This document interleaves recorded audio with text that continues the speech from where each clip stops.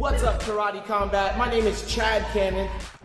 I know that I'm gonna be a great fighter for Karate Combat because I don't just fight, I do forms. I can do all the cool, crazy flips.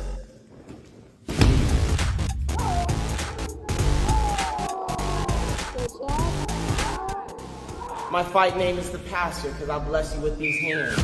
Chad Cannon.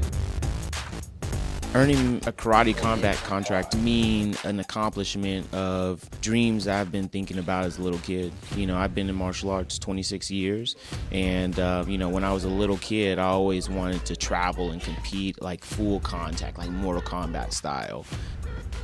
So I started dedicating myself to Muay Thai for about the last eight or nine years. I can switch in between sport karate and Muay Thai or mix them both together.